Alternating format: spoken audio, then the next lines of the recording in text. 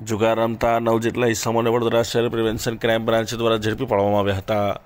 વડોદરા શહેર પીસીબીના માણસે બાતમી હકીકત મળે કે રમણભાઈ ઉદેશી પઢિયારનો તેના સંબંધી હર્ષદ પઢિયારના ફાજલપુર ગામમાં આવેલ સમડીવાળા ફળિયાવાળા મકાનમાં બહારથી માણસો બોલાવી ભેગા કરી પત્તાપાના રૂપિયા વડે તીનપત્તીનો હાજીનો જુગાર રમી રમાડે છે ત્યારે આ બાતમી મુજબ પીસીબીના માણસો દ્વારા રેડ કરી આ ફાજલપુર ગામમાં આવેલ મકાનમાં પત્તાપાના રૂપિયા વડે હાજીનો જુગાર રમતા લોકોને આ નવ ઈસમોને ઝડપી પાડવામાં આવ્યા હતા તેનો ઝડપી પાડી કાયદેસરની કાર્યવાહી કરવામાં આવી હતી પીસીબી દ્વારા રમણભાઈ પડિયાર ગોપાલભાઈ કોટવાલ તેજસ્વી કુમાર પટેલ, હનીફભાઈ મંસૂરી, અબ્દુલભાઈ મલેક, અનિલ રામનાણી, ગોપાલભાઈ વાજી, વિક્કી પટેલ તથા રાજેશભાઈ પટેલને ઝડપી પાડવામાં આવ્યા હતા. હર્ષદ પડિયારને વોન્ટેડ જાહેર કરવામાં આવ્યા હતા.